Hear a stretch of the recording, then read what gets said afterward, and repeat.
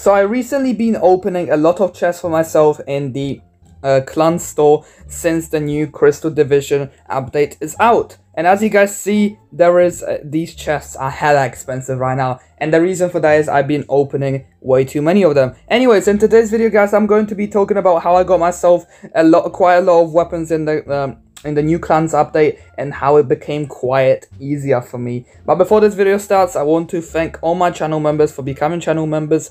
Uh, if you would like to become a channel member yourself, go ahead and do it. It's really up to you. And yeah, that'll be it. And let's just get on with the video. Uh, so, I've got myself the Gem Power, the Sniper Dude, and I've got myself the Excalibur, uh, Mordred, Poison, uh, Poseidon Trident. Uh, these are the six, I believe six, or is it five? It's five. These are the five weapons which I've got myself so far since the clan update has came out. As you guys see, it's it's getting easier and easier for me to get all of these weapons. Uh, last video, uh, I complained a little bit about this new clan system. It's kinda unbeneficial for some players uh, who want to get themselves their weapons very, very fast. But for me, this isn't that much of a problem because I'll be slowly eventually getting all of these weapons.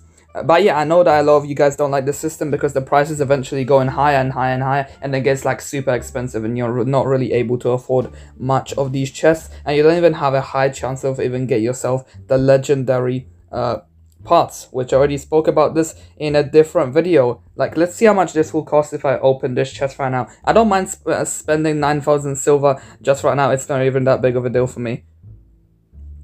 And they gave me the rare chest, as you guys can see. I'm not really getting the best stuff from these chests so far. I'm mostly getting the rare, uh, the, the rare chest, which is not really the best. I've got myself some parts for the Lancelot. I mean, it is cool, uh, but I need to wait till next clan war for it all to refresh, which is kind of rigged. Because what if I want to open myself more chests? But I can't because this is like way too expensive. But anyways, I'm really happy that I got myself all these weapons. I'm slowly getting better and better at uh, getting all these weapons, but I really gotta start grinding a lot more. Sadly, I can't right now because I've got all the exams and everything. Anyways, in this video, I just wanted to share with you guys that I got myself quite a lot of weapons so far. And please tell me in the comment section how many weapons all of you also got. Um, I would just be really happy to see how many clan weapons you guys got and everything like this.